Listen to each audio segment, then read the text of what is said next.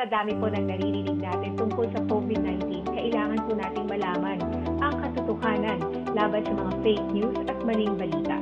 Buhay po kasi ang nakasalalay dito. Kaya hatid namin sa hashtag healthy naman ang mga taong nasa sentro mismo ng mga issue na yan.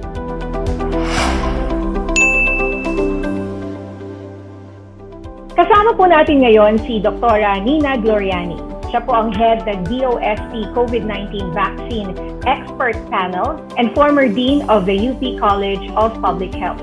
Magandang hapon, Dr. Nina. Magandang hapon, Nina. Happy to be here. okay, uh, Doktora, meron kasing naririnig rin tayong first dose, may second dose. Ano po ba ang kaibahan ng dalawa? Okay. Okay, ang mga bakuna na dadating, yung mas mauuna, I mean, will require two doses. Kasi, mm-hmm. yung sa unang injection sa inyo, magpo-produce kayo ng immune response, antibody. So, mini-measure natin yan, yung level. Yung level, madami ba o konti at anong klaseng antibodies, no?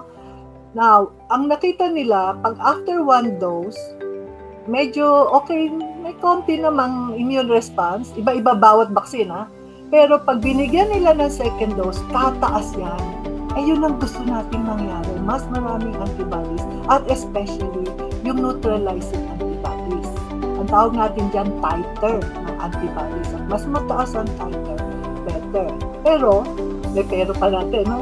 May isang bakuna na baka dumating, maganda ang kanilang uh, datos sa isang dose lang.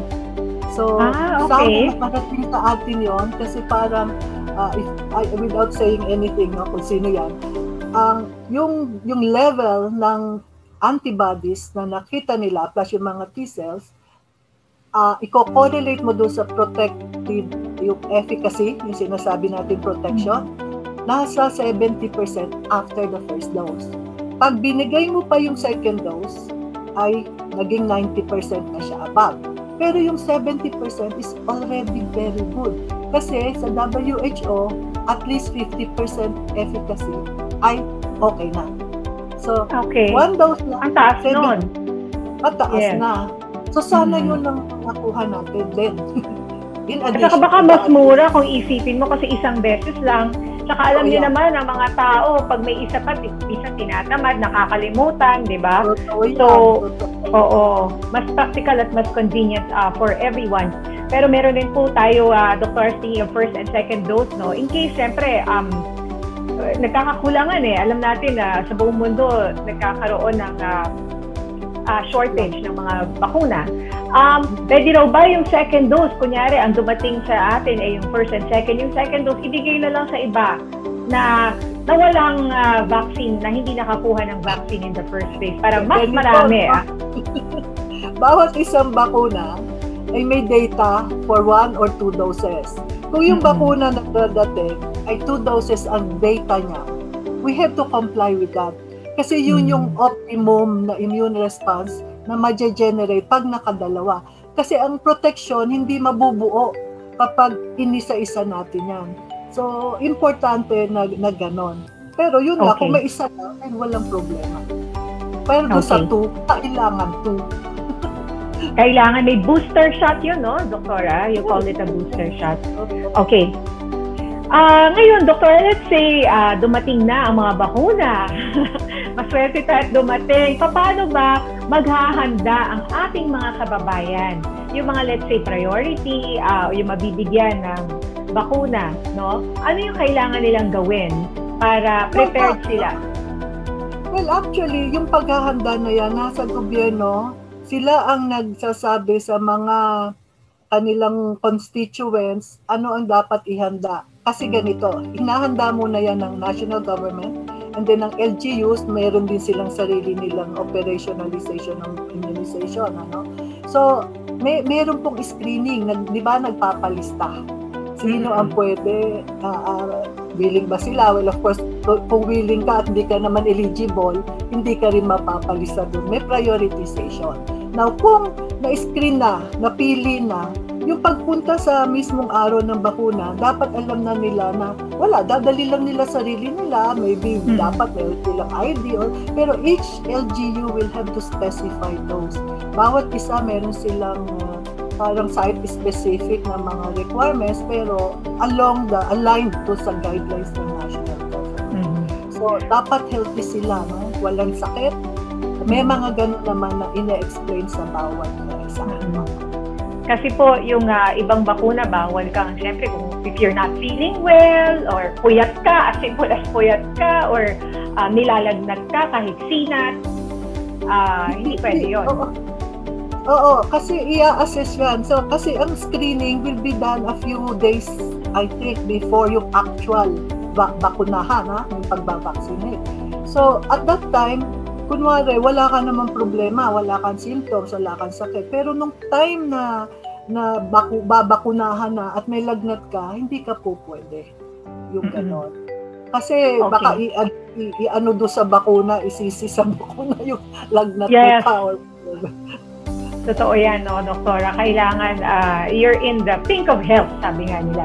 Um, what, syempre, doktora, nangangamba yung mga may pinagdadaanan na rin ngayon. Uh, ano ba ang data sa mga pasyenteng may cancer, for example? Um, can they take that vaccine? Okay. Yung mga taong may mga comorbidities, and that will include cancer, cardiac diseases, no? heart diseases, uh, asthma, pulmonary, yung mga ganun actually sila ang vulnerable sa severe COVID. Yung medyo sobrang obese, yung may diabetes, sila ang vulnerable. So technically, sila yung dapat nasa priority.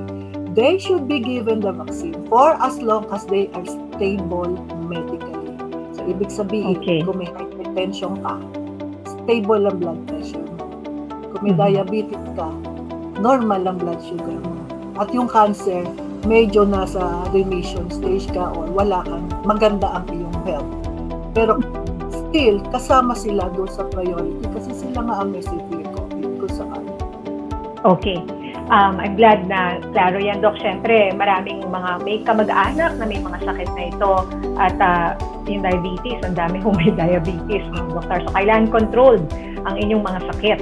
Okay. Dok, um, may balita kasi na lumabas galing sa Norway na namatay raw yung mga very frail and elderly uh, patients after sila mabakunahan. So, natatakot tuloy yung ibang senior citizens na baka mangyari rin ito sa kanila. Ano po ang masasabi niyo dito? Ang nangyari kasi sa Norway, mga nasa 20 ba yan? Kadagdagan pa. Tapos, yes, mga 20 to 40 pa. pa. Oo. Okay. Ang nabakunahan ay may above 90, may above 80. So, sinab-group na nga nila yung kanilang mga paalang investigation, pero hindi pa na-investigahan ng lahat. And most of them are frail. Frail, meaning very weak. Baka yung iba doon nakahiga, hindi ko alam bakit binakunahan. Kasi dapat talaga, bago bakunahan ng anybody, titignan mo kung kaya niyang ma, ma ano yung posibleng reaction, ma-tolerate mm-hmm. niya. No? Kasi, di ba ina-expect natin may lagnat, ma, ma, parang may flu-like symptoms, mananamla yung pasyente dahil sa bakuna. Eh kung medyo frail ka na to start with, nagkaroon ka ng fever na mataas, that may, uh, ano, yun yung pwedeng mag-trigger ng well, either death or a very severe mm. form yun yung dapat tignan. Kaya siguro ang assurance lang natin dito sa mga babakunahan natin, magkakaroon ng medical history taking, i-screen talaga yung, lalo yung mga may edad, no? Mm-hmm. Titignan talaga. Okay. At ito rin, Dok, usap-usapan yung uh, doktor sa Amerika na sinasabing healthy naman daw, pero after siya mabakunahan, ay uh, namatay. Uh, ano rin ang balita niyo dito, Doktora? Wala pang additional data dyan. Ito yung nagkaroon ng thrombocytopenia na yung kanyang mga platelets ay hindi naman ako maniwala na zero. Pero kasi press release yun, mahirap no? Kami nasa Umaksak daw ang platelets. Opo. Oo. Actually, zero pa nga ang sabi. And no matter how much they uh, uh, replace the place platelet, hindi umakyat. So we do not know that until the full investigation is completed, makikita natin.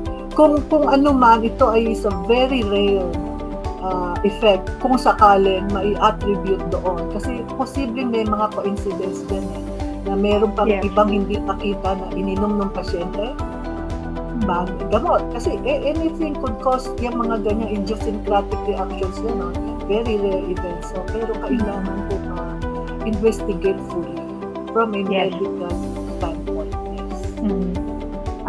I agree, Doc. Dapat uh, klaro bakit nga siya namatay. Pero also taking into consideration that millions were already vaccinated and isa lang siya compared doon sa dinami-rami po ng nabakunahan. Okay. Ngayon, Doc, paano naman daw yung mga variants na hindi pa covered ng vaccine na ito? Okay? Kasi oh. we're hearing of new vi- variants na kesyo daw mas severe, mas nakakahawa, um, paano po yun? E di, siguro yung attitude po ng iba, eh kung may ibang variant pala, huwag na lang ako magbakuna, di ba? Bakit ah. pa? Eh, nag-iba na. Hindi pwede. Okay, ganito. So, yung mga bakuna for the new, yung first generation, ito mga bakuna na dadating, ha, first generation ng tao mm-hmm. natin dyan. Dapat nga, mag-immunize na tayo agad bago dumami itong variants para meron na tayong sufficient uh, immunity na malalabanan either yung old or yung new kahit konti. Ngayon, tatlong bagay ang dapat uh, tignan sa mga variants na ito. Number one, siya ba ay maka, mas madaling i- makahawa. Number two, makakakos ba siya ng mas severe na infection? At number three, importante sa vaccination, ay ma- ma-change ba yung binding niya doon sa antibodies na neutralizing na galing do sa unang bakuna. So tatlo yung ating binabantayan dyan. So sa bakuna, yun nga, posibleng meron tinatawag na escape mutants dahil doon sa variant na yon ay hindi na niya uh, hindi na siya magbabind, hindi na siya kakabit, hindi na siya manoneutralize ng antibodies na na-generate against the first vaccines. So yun ang tinitignan natin ngayon. And mas marami yung mutations, mas likely na mas hindi na siya kakapit. So, so yun. Ngayon, ayaw natin hintayin mangyari yun. Mm-hmm. Kaya magpabakuna na tayo hanggat meron tayong supply. Kasi even the supply limits our ano efforts. Mm-hmm. Kasi kung kung konti yung dadating na supply, edi ilan din lang mababakunahan natin. Kaya kung kayo nakalista na dahil andyan yung supply, pumayag na po kayo. Kasi pag hindi kayo pumayag yung susunod sa inyo, nandun na kayo sa dulo. Parang ganun. Ah, eh. Oo, um, yun na nga ang problema, no? Oo, okay. Uh, anyway, um, as of now, wala pa naman and uh, we're all still waiting, ano? And um, hopefully hindi magkaroon ng kaguluhan no pag dumating yung panahon. Uh, Doktora, very quickly, can you run through yung UK variant daw na kesyo mas nakakahawa at ngayon dati sabi mild lang daw pero ngayon sinabi severe na. Saka yung South African variant at itong Brazil variant. Oo. Kasi ito, ito mga iba-ibang variants na to, maaring nanggaling sa isang lineage lang, yung tinatawag na mayroong ancestor siya, no? Nag, nag-iba-iba lang, nagda-diverse sila. Kasi nag-mutate nga eh. So, sinusundan yung mga changes na yon. Okay. Pag sinabi nila dito, sa so UK variant kunwari, sinabi nila nung una, madaling makahawa. Makahawa. Ang ibig sabihin nila do, maraming mga kaso silang nakita na nasundan, na study na ganon. Pero may a few of those who have the variant also develop severe disease. So mm-hmm. hindi ibig sabihin, kaya medyo nalilito kasi dalawang tinitignan natin doon. Madaling makahawa at baka cause ng severity, uh, ng severe disease. So yung madaling makahawa, nakita nila yon pero madaling nga, mm-hmm. pero mild to moderate. Pero meron ding madaling makahawa tapos severe. So yun yun, mm-hmm. hindi yun one or the other. Pwedeng nandun pa